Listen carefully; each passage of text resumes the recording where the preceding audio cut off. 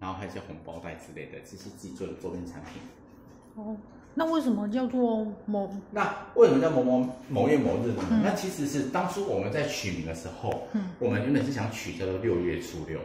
那因为东方美人茶它最好的时节嗯是在六月初六，就是我们二十四节气的芒种，嗯，这个节气有农历吗？哎，国历国历国历哦芒种这个节气的时候，嗯它做的东方美人茶品质是最好的。嗯所以我们原本是打算叫做六月初六，嗯那我们楼上的门把都已经做好了，叫六月初六。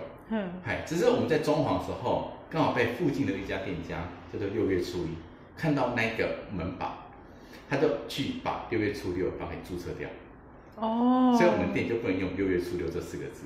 嗯那后来有人就提议老板说啦，那六月初六是芒种没错，嗯但是六月初五也是芒种啊，嗯大家觉得六月初五好像就觉得没那么的嗯厉害。对，我想说，那六月几号、几月几号，好像都觉得很尴尬，因为你六月初一来注册掉我们的六月初六，嗯那我们要改几月几号，我们就觉得很麻烦。嗯那几月几号不知道，我们就想到，哎，某月某日，我就几月几号我全包了。